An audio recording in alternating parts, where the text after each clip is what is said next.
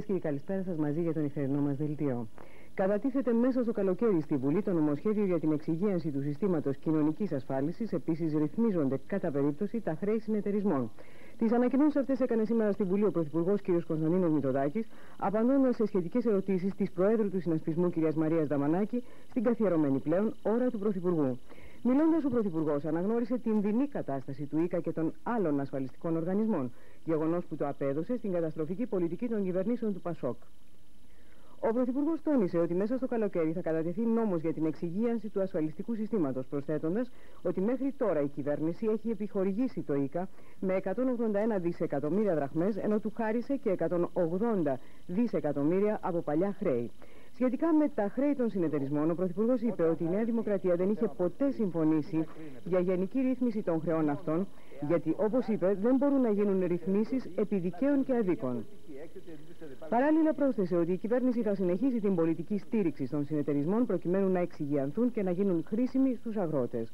Αναφερόμενος τέλος στην Αγροτική Τράπεζα, ο κ. Μητωτάκη είπε ότι έχει τεράστια προβλήματα, αλλά υπάρχουν περιθώρια εξυγίανσης για να γίνει η τράπεζα αυτή όργανος στήριξης της αγροτικής μας οικονομίας.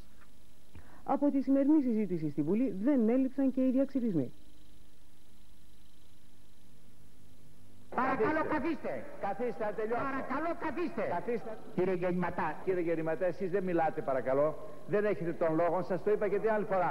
Αν δεν σας αρέσει αυτή η συζήτηση ή να φύγετε από την αίθουσα ή να έρθει ο αρχηγός σας για να μιλήσει. Αυτό να τελειώσει άπαξ διαπαντός. Δεν δέχομαι. Δεν δέχομαι αυτήν την παρεμβολή την ειδική σας. Υποτύπων διακοπών που απλώς αποβλέπουν στο να με δυσχεράνουν να ομιλήσω. Η μία στις δύο επιχειρήσεις φοροδιαφεύγει, δήλωσε ο Υπουργός Οικονομικών κ. Γιάννης Παλαιοκρασά, δίνοντας σήμερα στη δημοσιότητα αποκαλυπτικά στοιχεία από τους τελευταίους φορολογικούς ελέγχους. Ο Υπουργός είπε ότι σε δύο μήνες θα υπάρχει συνολική εικόνα της φοροδιαφυγής στον χώρο των επιτιδευματιών με τις διασταυρώσεις των τιμολογίων που γίνονται με κομπιούτερς. Για τις περιπτώσεις που έχει ήδη διαπιστωθεί φοροδιαφυγή, τα σχετικά στοιχεία έχουν σταλεί στις εφορίες και οι επιτιδευματίες θα κληθούν να πληρώσουν τις διαφορές μαζί με τα πρόστιμα και τις προσαυξήσεις. Ο κ. Παλοκρασάς εξέφρασε τη βεβαιότητα ότι μέσα στο 1991 μπορούν να εισπραχθούν 250 δισεκατομμύρια δραχμές από βεβαιωθέντες φόρους παρελθόντων ετών που δεν έχουν εισπραχθεί. Ενώ άλλα 200 δισεκατομμύρια δραχμές είναι αδύνατο να εισπραχθούν γιατί πολλοί φορολογούμενοι βρίσκονται σε κατάσταση πτώχευσης. Την ανάγκη εφαρμογής του νόμου για τη δημόσια διοίκηση χωρίς καθυστέρηση επεσήμανε σήμερα ο Πρωθυπουργός κ. Κωνσταντίνος Μητσοτάκης κατά τη συνεδρίαση του Υπουργικού Συμβουλίου. Στη συνεδρίαση συζητήθηκε το πρόγραμμα στήριξης της Περιφερειας για το 1993, ενώ αποφασίστηκε η κατάργηση της πενταμελούς εξυπουργών Επιτροπής Προσλήψεων και σύναψη του ομολογιακού δανείου της ΔΕΗ ύψους 70 δισεκατομμυρίων δραχμών. Παράλληλα, εγκρίθηκε συμφωνία με τη Σοβιετική Ένωση για την κατασκευή αγωγού μεταφοράς φυσικού αερίου από τα ελληνοβουλγαρικά σύνορα μέχρι και την Αθηνά. Τέλος, το Υπουργικό Συμβούλιο αποφάσισε την αντικατάσταση περιφερειαρχών καθώς και τις τοποθετήσεις και μεταθέσεις νομαρχών σε διάφορες περιοχές της χώρας.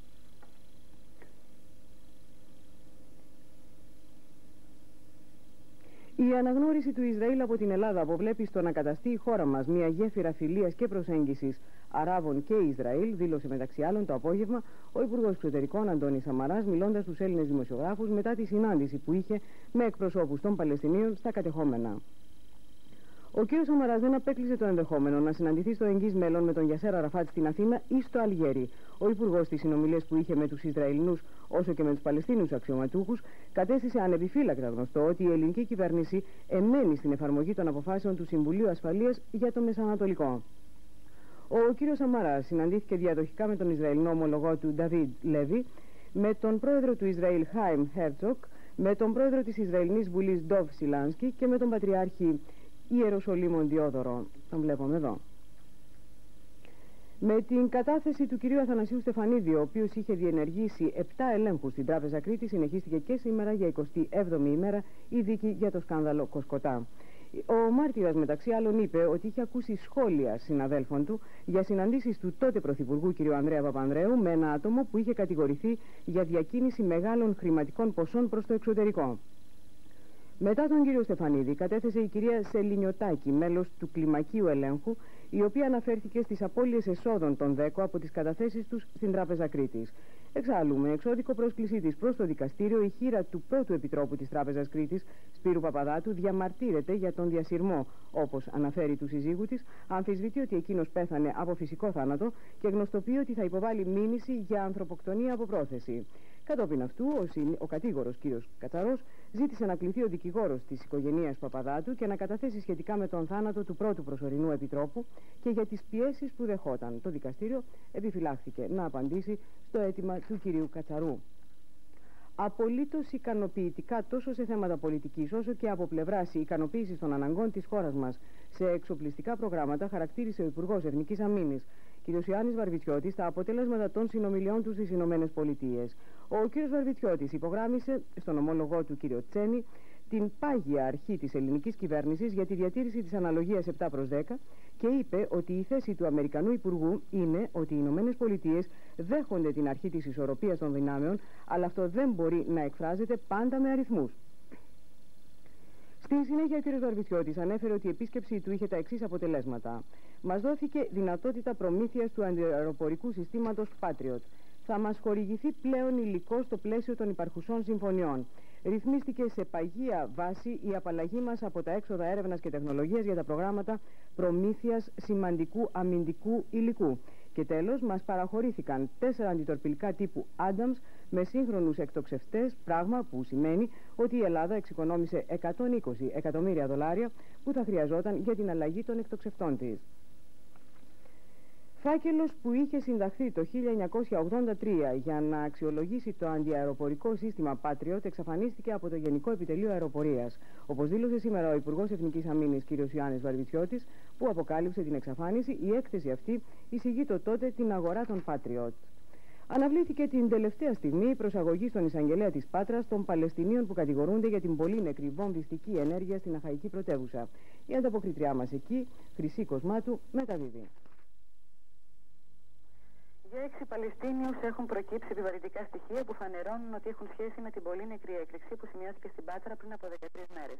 Πρόκειται για τους Ασάρα Αλνομπάνη, Ιμπραήμ Πικεράτ, Αμπούελ Νεγκά, Τζόρτζι Καούρη και τον αδελφό του Φάντιλ, καθώ και τη μοναδική γυναίκα Παλαιστίνια, την Έλληνο Σέχια Νεμάη. Για τη συγκύρωση τη δικογραφία που περιλαμβάνει 90 καταθέσει, το τελευταίο 24ωρο υπήρξε πυρετόζη σε προετοιμασία.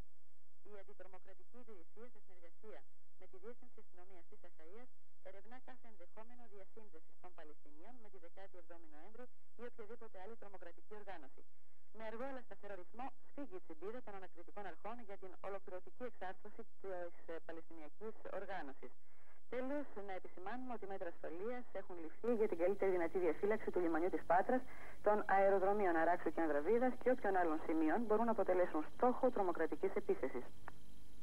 Στο μεταξύ στην Αθήνα, μετά από έρευνα που έκαναν οι αστυνομικοί της Αντιδρομοκρατικής Υπηρεσίας σε οκτώ δωμάτια Παλαιστινίων φοιτητών στην Πανεπιστημίου του Ζωγράφου, πήραν για εξέταση στην ασφάλεια τον φοιτητή Αραφάτ Μαχέρ, ο οποίος εξετάστηκε για αρκετές ώρες και μετά αφέθηκε ελεύθερος. Στην οργάνωση 17 Νοέμβρη αποδίδεται σύμφωνα με όλα τα μέχρι στιγμή στοιχεία η ευθύνη για την εκτόξευση ρουκέτας χθες βράδυ στα γραφεία της ΔΕΗ του Αγίους Αναργύρους. Το βλήμα που εκτοξεύθηκε ήταν όπως διαπιστώθηκε από εκείνα που έχουν κλαπεί από το Δεκέμβριο του 1989 από το Σικούριο της Λάρισας. Ένα επιπλέον στοιχείο που οδηγεί στην 17 Νοέμβρη, ενώ το τηλεφώνημα σε απογευματινή εφημερίδα πριν από την εκτόξευση υπήρχε το οποίο προειδοποιούσε για την ενέργεια της οργάνωσης. Και για την νέα αυτή τρομοκρατική ενέργεια απαγορεύτηκε με διάταξη του εισαγγελέα κ. Τσεβά δημοσίευση ή σχετική ανακοίνωση. Αρχίζει αύριο στην Αττική και θα ολοκληρωθεί τη Δευτέρα η πληρωμή και των υπολείπων συντάξεων του ΙΚΑ. Παράλληλα, καταβάλλεται προσπάθεια από τα ΕΛΤΑ να γίνει πληρωμή των συντάξεων και το Σάββατο. Η δίκηση του ΙΚΑ ανακοίνωσε σήμερα ότι για το σκοπό αυτό δόθηκε κρατική επιχορήγηση 12 δισεκατομμυρίων δραχμών.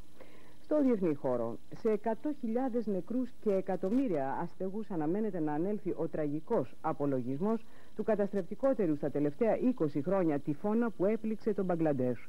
Επίσημες πηγές υπολογίζουν ότι μέχρι στιγμής έχουν περισυλλεγεί 37.000 νεκροί, ενώ εκατοντάδες πτώματα εκφράζονται καθημερινά στις θαλάσσιες ακτές του κόλπου της Βενγάλης. Την ίδια στιγμή η κυβέρνηση καταβάλει υπεράνθρωπες προσπάθειες για να προσφέρει κατάλημα σε εκατομμύρια αστέγους και απευθύνει συνεχείς εκκλήσεις στη διεθνή κοινότητα για βοήθεια. Στο μεταξύ, δραματικά στοιχεία για το μέλλον του νεοσύστατου αυτού κράτους που απέκτησε την ανεξαρτησία του από το Πακιστάν πριν από 20 χρόνια, φέρνονται, έρχονται τώρα στο φως της δημοσιότητας. Έκθεση που έχει ήδη γίνει βασίζεται σε στοιχεία του προγράμματος του ΟΗΕ για το περιβάλλον και προβλέπει ότι ως το τέλος του ερχόμενου αιώνα το Μπαγκλαντές θα έχει πάψει να υπάρχει με τη σημερινή του μορφή.